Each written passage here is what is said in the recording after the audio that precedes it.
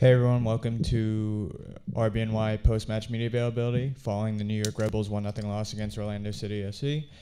Uh, we will start with an opening statement from head coach Gerhard Struber, and then we will take questions. Coach, you have the floor. Yeah, I think, uh, of course, we expect a different result in the end. Um, I would say they have uh, not so much chances today. I think the the system worked. Um, defensively in a, in a good direction. It was one time um, a little bit um, out of order, and this was enough in the end. Yeah? We have 60 minutes time to change that, um, and in this direction we we played nice, yeah, but not. Uh, I think uh, on this limit, what we have to go in in some actions when we play forward uh, with uh, a better timing in forward runs with. Uh, to find in the end more numbers quicker in transition moments. Uh, in the last line, I think we was yeah, in some moments uh, good on the way, but uh, um, this was not enough in the end to to yeah to bounce back in in this game with um, with the right. Um, um, goals what we have to score. I, I think uh, in the end, uh, um, a disappointed situation, uh, a difficult situation for for for for me and for my team at the moment. I think this is MLS poor. Uh, I think we have to realize that that uh, the situation right now is uh, not easy, and uh, and uh, I think we need, uh, especially at the moment, a big each other, a big belief to bounce back. And yeah, I think this is. Um, also a big mental test uh, for us at the moment uh, to find uh, better results. I think the boys worked, um, yeah, on a good in a good direction. But uh, this game show us one more time we need limit action and uh, and uh, and and and situations that the boys comes on the border or out of the border that you can win uh, uh, in the end games. And um, yeah, I missed this a little bit. I think we was. Uh, um, good in this game, but in the end, was not enough um, to win. Mike's on. Oh, there we go.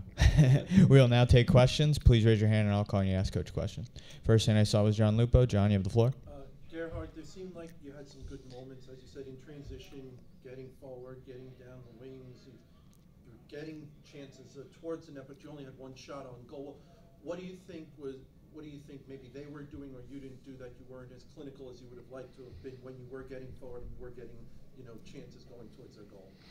Yeah, I think uh, in, in some moments you need in the build-up um, um, a better understanding to use the space. I think this is uh, how we how we crash the first line, and this is always uh, easier to come in the end in better in better follow actions. And I think uh, in transition moments, of course, we can see. I think uh, we have uh, from the from the decision what we did, not always the right one. This was sometimes we could triple more and more in the box. We had space, and then we play too too quick. I think the the the the, the understanding how we come in good combination moments to together.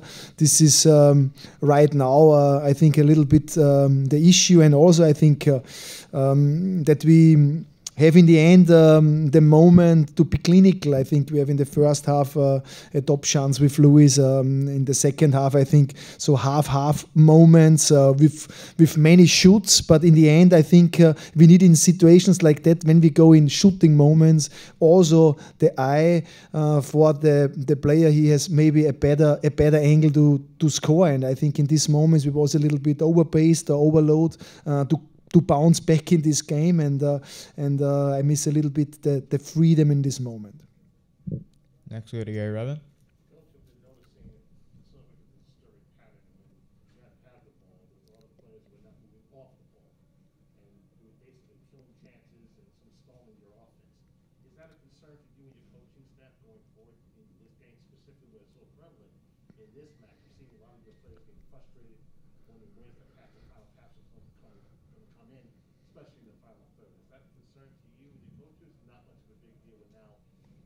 games, so many few games left before the playoffs.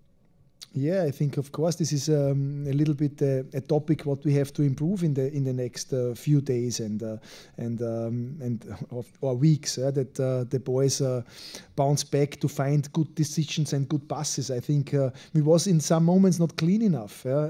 also, I think to find the right player that we have a better orientation. Which player is in the end a player he can make from his position the different. And we have indecisions and in yeah, in, in, in, and to find the right position in the box uh, today, um, yeah, of course, uh, um, not uh, best moments, and uh, and we can see when they stay they park a bus in the in the box you can see this sometimes. Then it's not so easy but then you have to move the bus from one side to the other side and work for space. And in these moments we have not always the patience to come and invite areas and and bring uh, the bus outside yeah? and and I think this is so uh, um, in this direction what we have to work uh, when an opponent uh, uh, stay so deep um, and back the pass so deep in, in our box.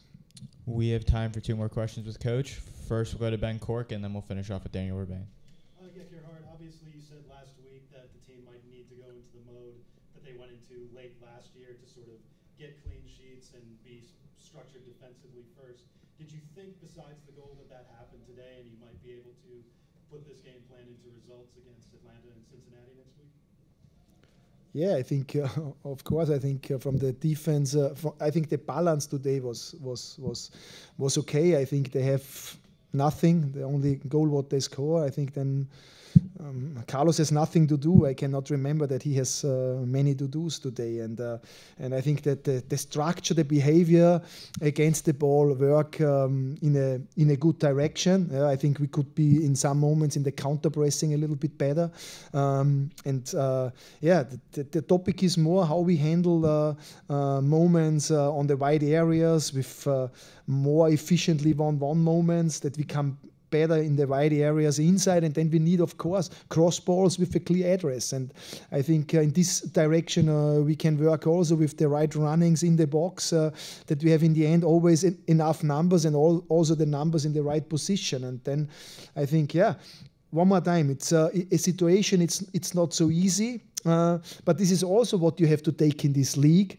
moments where you stay clear together with a clear identity, very clarity, what we want from the boys, and also a big heart. And uh, I think, yeah, right now it's a test, and uh, and uh, and and um, and we have to, yeah, bring the test in a good direction.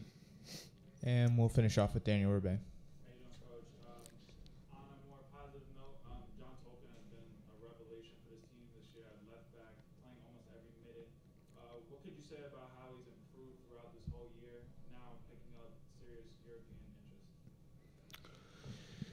Yeah, I think this is so the consequence when you develop players uh, like John is a good example. I think in this direction that other clubs have interest. Uh, it's not a big surprise, and uh, yeah, I think he's very reliable um, in, in, in, in his um, actions, and this is the reason why he is a starter player and he has uh, and um, select so many minutes. Uh, I think, yeah, he's very reliable. He's a player. He uh, has a very good anticipation, especially in our world of football, to read the moment. And and on the same time, we have also to work uh, um, about his output. Yeah? I think this could be also um, on a higher level. His technical ability is very, very high. Also his tactical understanding, and we work with him together. That we bring also, I think, so we make so the next step together also that the output uh, is on a higher level and I think we, of course, I have big trust in him, and uh, and he's a player.